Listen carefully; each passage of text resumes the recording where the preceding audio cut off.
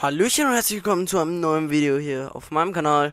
Und ja, heute ist es soweit. Ähm, ich zeige euch so ziemlich alle meine Intros, die mir gemacht wurden.